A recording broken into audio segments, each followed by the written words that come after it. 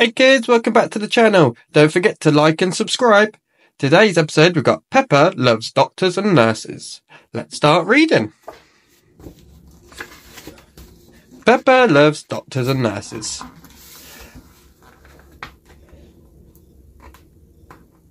It was people who help us day at playgroup and everyone was excited. Now children, began Madame Gazelle.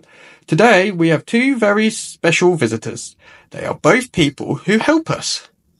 Is one the Queen? asked Peppa. Is one my auntie? asked Rebecca Rabbit. Dinosaur roar, asked George. Three wonderful guesses, said Madame Gazelle. But the people coming to see us today are Dr. Brown Bear and Nurse Fox. Hooray! cheered the children, jumping up and down.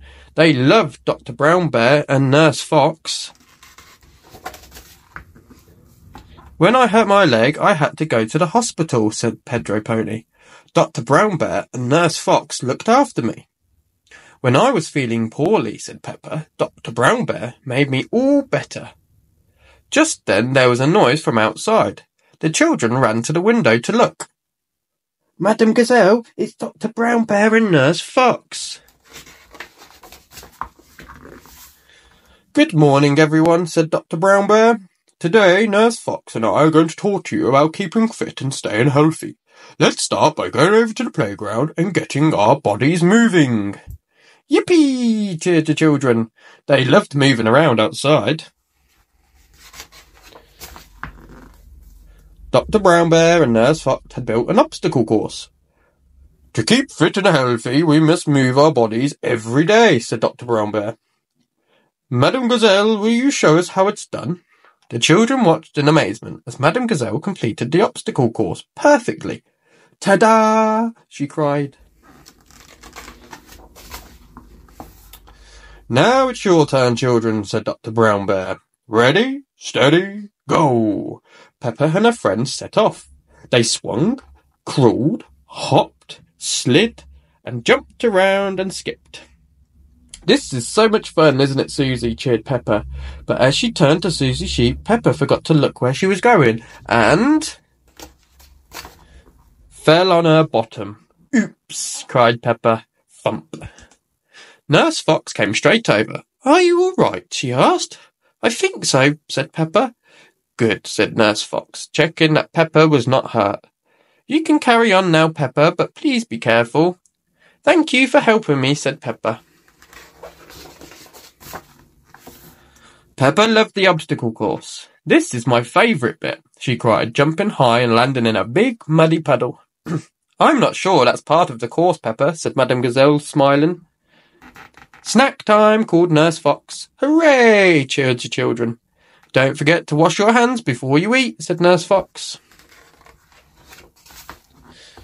All the children went to wash their hands. Peppa and Rebecca sang the Wash Your Hands song. Wash, wash, wash your hands, wash them nice and clean. Bubbly, scrubbly, scrubbly, bubbly, wash them nice and clean.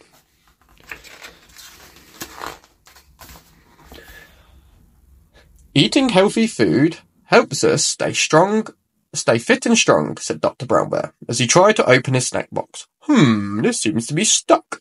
Uh, Nurse Fox, could you help me, please? Nurse Fox came over and opened the box easily. Nurse Fox, gasped Peppa, you must eat lots of healthy food to be that strong. Everyone laughed. Hee hee hee. Peppa and her friends loved snack time. Yummy, they cried. Keeping fit and strong was delicious. You've done such a good job today, children, said Dr. Brown Bear. When they'd finished, I'm going to give you all a sticker. Hooray, the children. They love stickers too. Madame Gazelle brought out the dressing up box. It's time for you to be doctors and nurses now, children, she said. Peppa and her friends had lots of fun dressing up. Dr. Brown Bear, said Peppa, the doctor, you must keep fit and, fit and stay healthy too. Of course, he replied.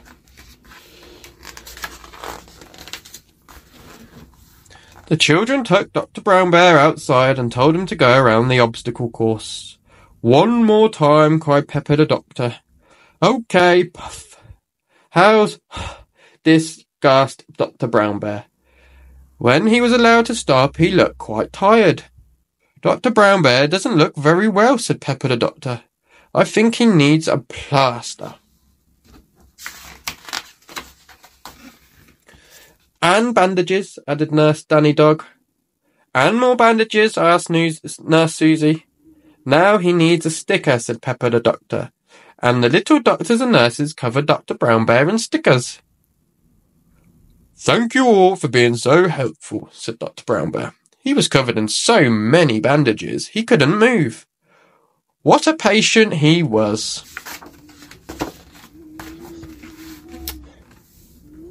What do we say to our visitors? asked Madame Gazelle. Thank you, Dr. Brown Bear. Thank you, Nurse Fox, cheered the children, giving them a big clap. Clap, clap, clap. Peppa loves doctors and nurses. Everyone loves doctors and nurses. The end. Thanks for watching. Until next time.